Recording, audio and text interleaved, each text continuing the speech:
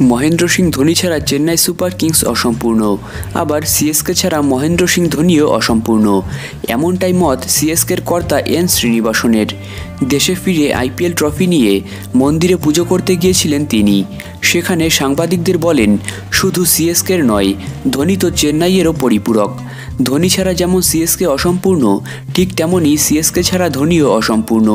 দু হাজার একুশ আইপিএল চ্যাম্পিয়ন হতে ধোনির ক্যাপ্টেন্সি ও চেন্নাই সুপার কিংসে ধোনির ভূমিকা নিয়ে সকলেই প্রশ্ন করতে থাকেন।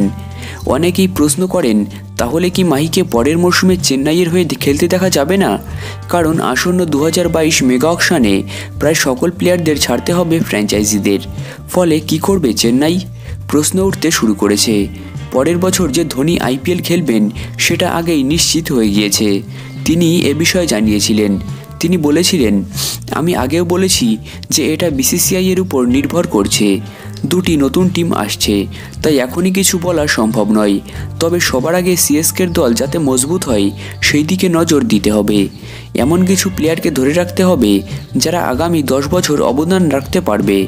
শ্রীনিবাসন জানিয়ে দিয়েছেন, আগামী কয়েকদিনের মধ্যেই কোন কোন প্লেয়ারকে রেখে দেওয়া হবে সে বিষয়ে জানিয়ে দেওয়া হবে। তিনি বলেন, ধোনি ছাড়া আরও বেশ কয়েকজন প্লেয়ারকে আমরা রেখে দেব, সেটা আগামী কয়েকদিনের মধ্যেই জানিয়ে দেওয়া হবে।